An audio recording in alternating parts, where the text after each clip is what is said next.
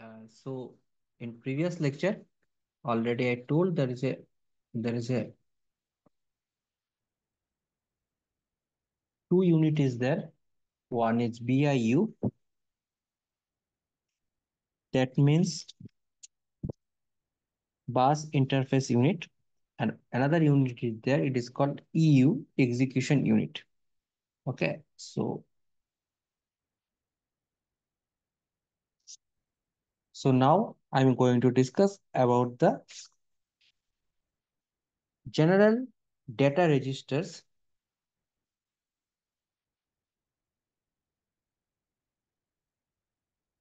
General data registers, what is available in the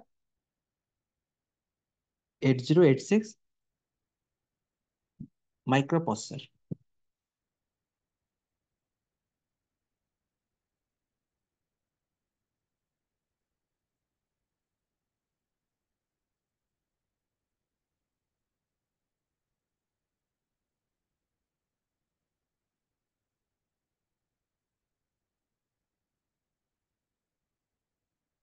So the registers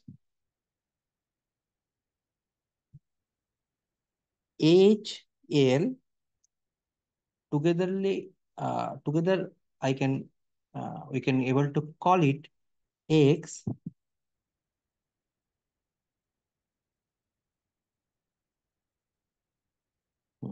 together I can able to call it AX next BHBL together uh, we can able to call it BX CHCL together we can call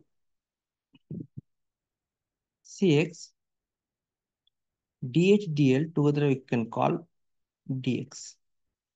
So this is 8 bit. This is also 8 bit. All together it is 16 bit. Okay. So the registers AX, BX, CX, and DX are the general purpose 16 bit registers. AX, AX is used as 16 bit accumulator with the lower 8 bits of AX designated as AL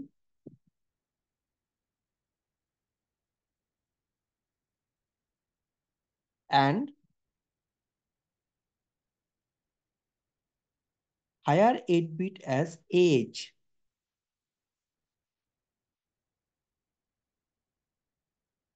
AL can be used as an 8-bit accumulator for 8-bit operation. This is the most important general purpose register having multiple function. Okay. So usually the letter L is uh, represent the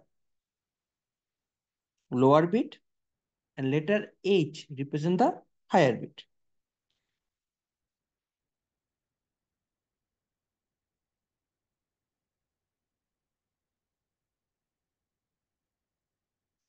The register CX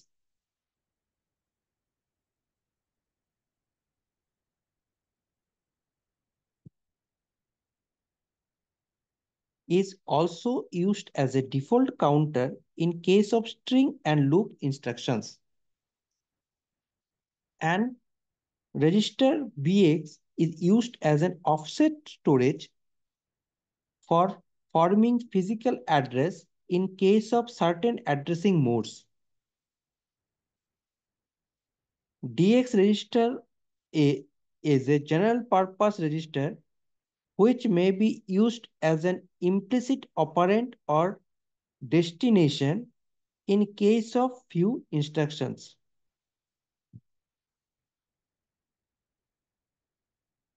So this is the called the general data purpose uh, general data registers. This is general data registers.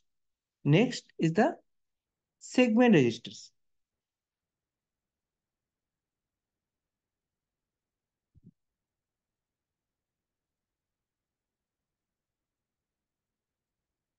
Segment registers. In segment registers, the 8086 address a segment memory. The complete 1 megabyte memory which the 8086 address is divided into 16 logical segments. Each segment contains 64 kilobyte of memory. There are four segment registers. One is called code segment, data segment, segment register, stack segment,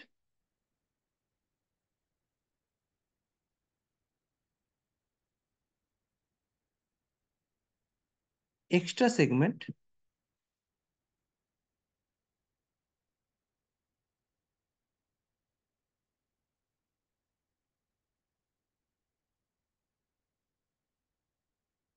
the code segment register is used for addressing a memory location in the code segment of the memory where the executable program is stored.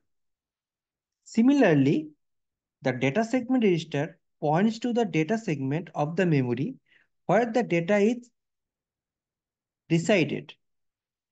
The extra segment also refers to a segment which essentially is another data segment of the memory. Thus, the extra segment also contains data. The stack segment re register is used for addressing stack segment of the memory, that is memory which is used to store stack data.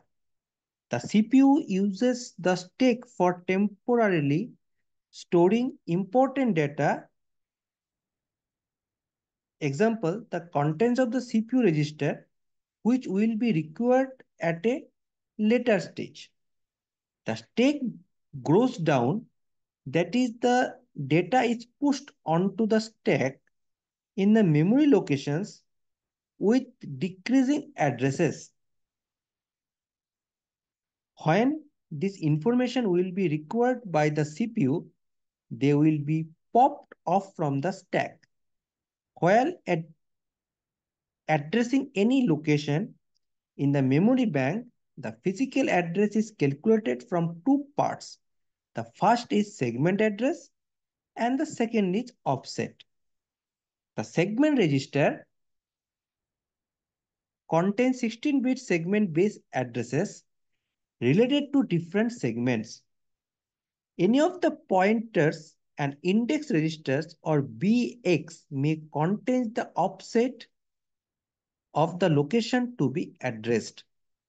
The advantage of the scheme is that in, instead of maintaining a 20-bit register for a physical address, the processor maintains two 16-bit registers.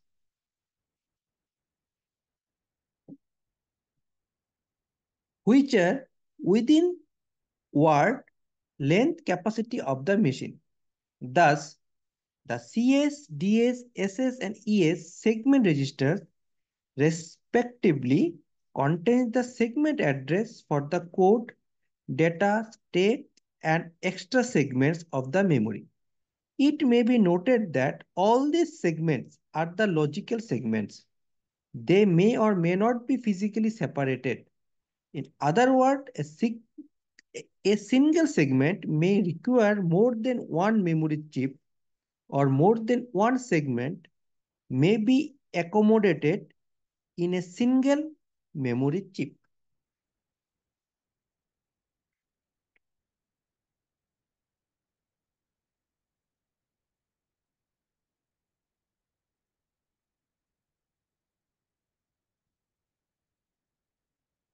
So in the next class, I will discuss about the pointers and index registers. Thank you.